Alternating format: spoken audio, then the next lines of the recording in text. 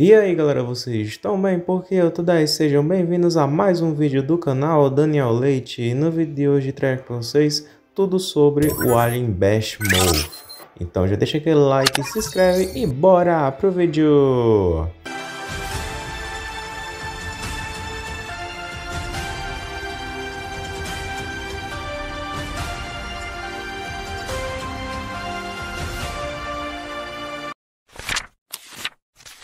Então galera, o Bashmorph é um dos aliens do Kevin, no qual ele é o alien mais diferentão.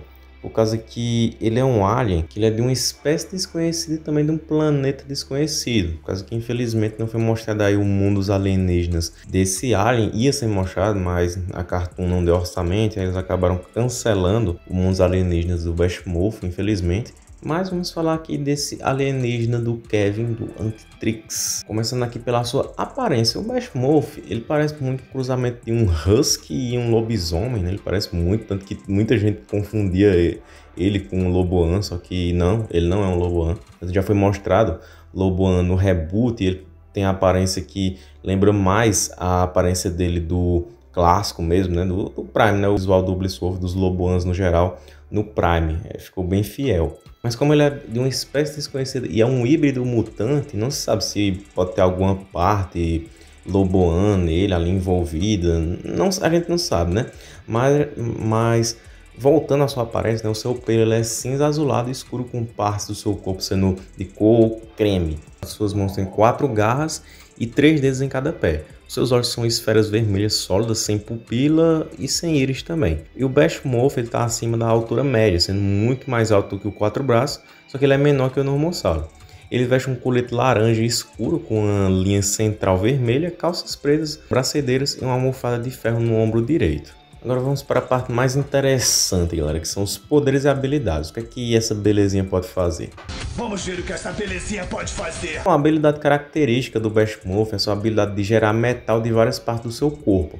Um exemplo conhecido disso é a geração de placas de armadura em escala de seus antebraços que são densas o suficiente para prejudicar o quatro braços, tipo, quatro braços, cara. O Tetramendi é uma, uma espécie assim muito forte, né, que pode quebrar muitas coisas, tem um, uma força colossal. Só que mesmo assim ele, ele se machucou ao dar um, um soco no metal gerado pelo Bestmorph, entendeu? Então o metal dele é um metal muito poderoso, assim, prejudicar até mesmo um cara que quebra metal metal normalmente, né? Então esse é um metal diferenciado que sai dele. Só que assim, que tipo de metal o Bestmorph gera e como isso afeta a sua estrutura óssea, isso é um mistério. No entanto, eles são extremamente fortes o suficiente para quebrar as projeções de cristal de um Petrosapien. Outra maneira que o Bestmorph ele tem de gerar metal é através dos seus dentes afiados, né? Que podem triturar o concreto. Uma habilidade muito legal. Que os dentes de metal se retraem sobre os seus dentes normais, né? E os seus dentes de metal são capazes de desviar lasers mesmo quando ele não está usando a sua geração de metal.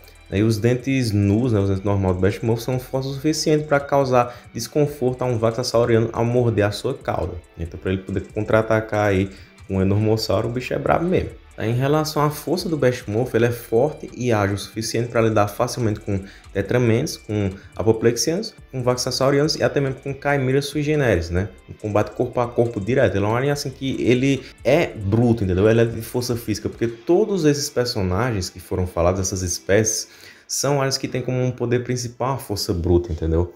O Bestmorph ele pode lidar com todos eles. E também tem a questão do rugido, né? O rugido do Bestmorph é forte o suficiente para demolir um prédio, né? Lançar um Vatasauriano contra uma parede e empurrar Slapback, né? Um Ecoplectoide. Inclusive, eu fiz um vídeo aí tudo sobre o Slapback, né? Se você não viu, clicar aí no card, beleza? Mas aí essa questão do rugido nos faz pensar daquilo que eu falei, né? Será que a parte dele, né, que é híbrido, mutante, tem alguma correlação com o Loboan? Porque a gente sabe que o Loboan como uma habilidade principal é o uivo sônico, né? Talvez não, talvez por causa que muitos aliens têm essa questão do rugido sônico. O próprio Rat, né, ele tem um rugido assim que não chegaria a ser um poder sônico, né, um poder sonoro, mas algo para intimidar. Do mesmo jeito, o Enomossauro também demonstrou. Alguns acho que tem essa questão do rugido.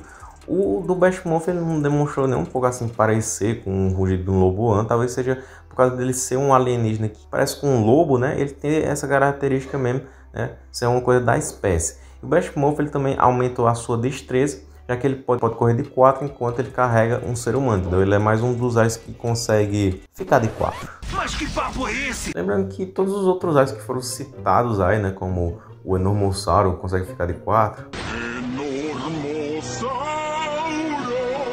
O Raj também consegue ficar de 4. É, o Rat é o gatinho bonzinho. O quatro braços, na verdade ele já tá de 4 braços. Não teve graça. Bom, como fraquezas, galera, o Bashmorph ele é semelhante ao Rat, né, no sentido de que os seus instintos podem assumir o controle. Por exemplo, o aspecto carnívoro da sua fisiologia husky, né, fará com que ele desvie a sua atenção para a carne. A mesma coisa pode acontecer com gravetos, entendeu? Ele tem esse instinto mais canino e assim ele agir como um cachorro mesmo, não um lobo, um canídeo, enfim. O Bashmove ele também pode ficar facilmente enfurecido, como ele começou a atacar o Brick 19, né, implacavelmente por arrancar inadvertidamente a sua armadura. E apesar da durabilidade do seu revestimento do antebraço, o Bashmove ele pode ser prejudicado pela durabilidade do Slapback, né, se ele, se ele conseguir duplicar o suficiente. E o Bashmove ele é vulnerável ao controle mental hipnótico do Zomboso, da mesma forma que ele pode sofrer uma lavagem cerebral ao invadir o Antitrix. Devido a alterações do Kevin no Antitrix, o Bashmorph é muito poderoso para o inexperiente Kevin utilizar ele no seu potencial completo, entendeu? No, no totalitário, no máximo. Infelizmente, o Bashmorph ele não pôde ser usado o seu poder total. Talvez se o Kevin ele fosse mais experiente, ele poderia usar mais os seus poderes. Bom, o seu nome ele é uma referência a uma banda popular chamada Smash Mouth, entendeu? É só como se fosse um trocadilho, tá ligado? Tipo, ah, Bash Mouth, Smash Mouth. E aqui no Brasil o nome dele ficou Mordido e sem comentários, pelo amor de Deus. Eu não vou chamar ele de Mordido nunca, porque esse nome é muito ruim. Por isso que eu tô ouvindo aqui todo chamando ele de Mesh Mouth. Assim como vários áreas do reboot, eu prefiro falar o nome em inglês. Agora vamos para as curiosidades.